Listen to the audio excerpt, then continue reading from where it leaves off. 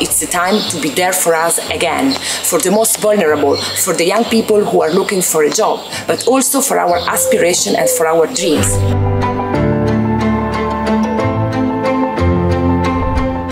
European Union has always represented the idea that the impossible can be possible. People from different countries that decided to stay together and build a community based on values. Yes, maybe the younger me was very idealist, but when at 24 years old I left my country and I joined other students thanks to the Erasmus program, I felt like Europe was right there and it was made for us. Today, I still believe in this great political project, but I think that we are at a turning point. If after the Second World War, Europeans moved on toward a future that was better than the past, today Europe is facing an unprecedented crisis and it has to be brave as never before.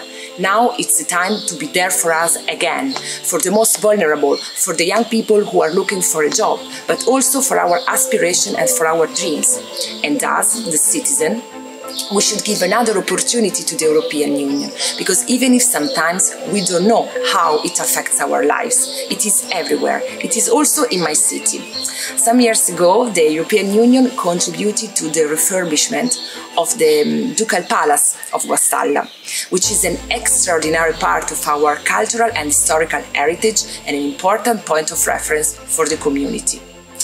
Uh, in its internal square and in other parts of the city, and of the Bassa Reggiana area hosted uh, the activities of the European Project BRIC on childhood, on public spaces and democracy that involved teachers, uh, parents and young children.